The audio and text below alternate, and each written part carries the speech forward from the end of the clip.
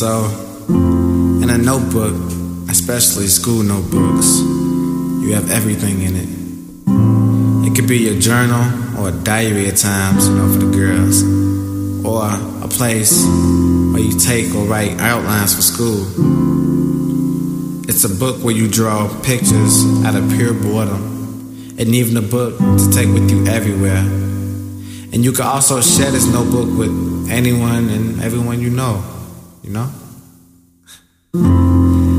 Make music, we take our life for life like situations and outline how we're gonna draw the pictures of how we're feeling into one's brain. We want to make sure we leave our mark on you so that you can take it everywhere you go and share what you've taken with everyone around you that you know.